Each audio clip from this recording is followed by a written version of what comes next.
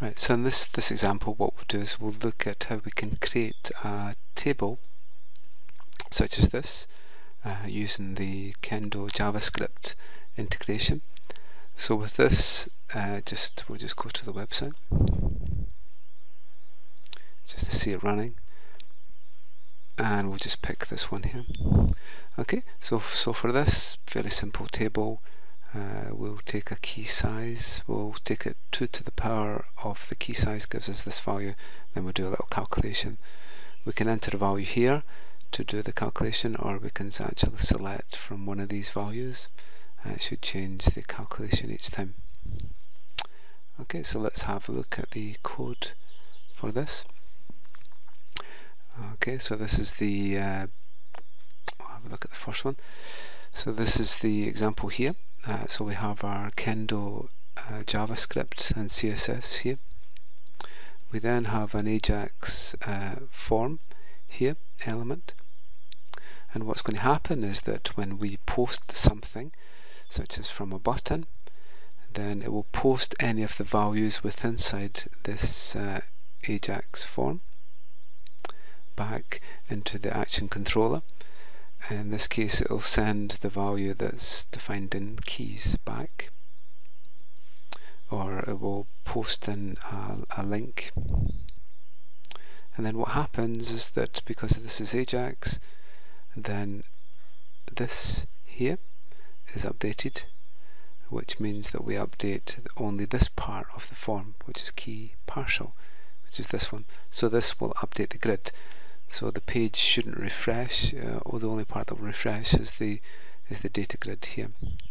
Okay so we see how we've done this here. We have a list and I've just defined encryption keys which is obviously in this case three fields to it.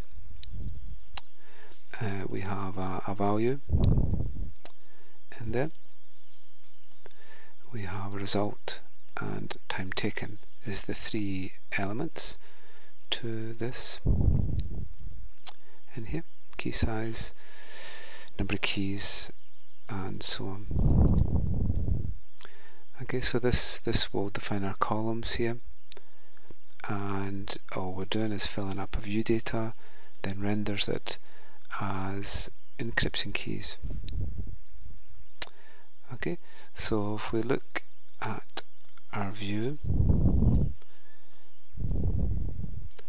find it's in the encryption view. So we need to look for the encryption controller. Within inside the encryption controller here are the the the action results. In the controller that will be called up. So let's find the key.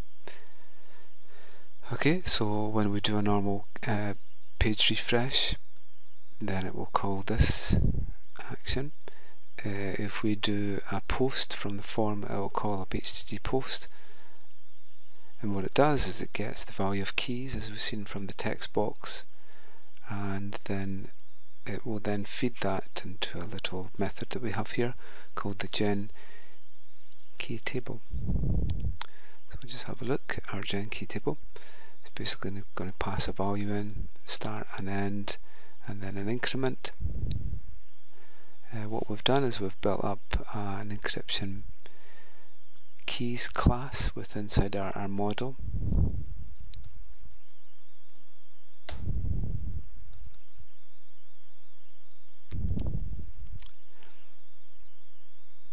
And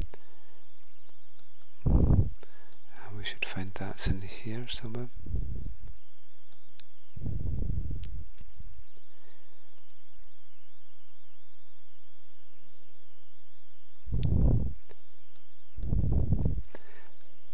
Let's try and find it.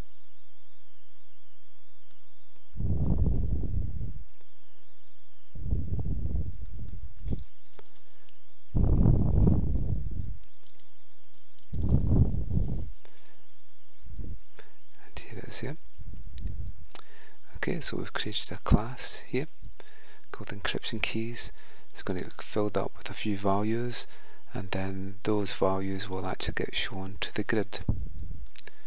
So let's come back here Okay, so we create a new list with uh, this class.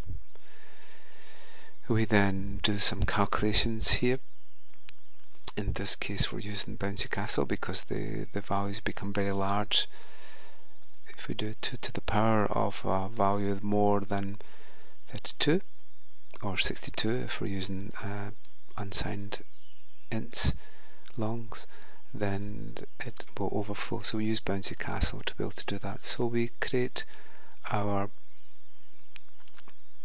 our list. And this is where we do our calculation here where we can define the units that are displayed. Then each time we'll add the keys, the, the values that we have onto our list. And at the very end we'll just fill up our view data so that when we come back.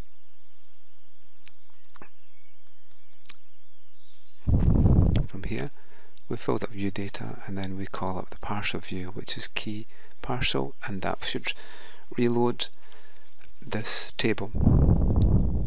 Okay so to show an example again there we go. That's building the table each time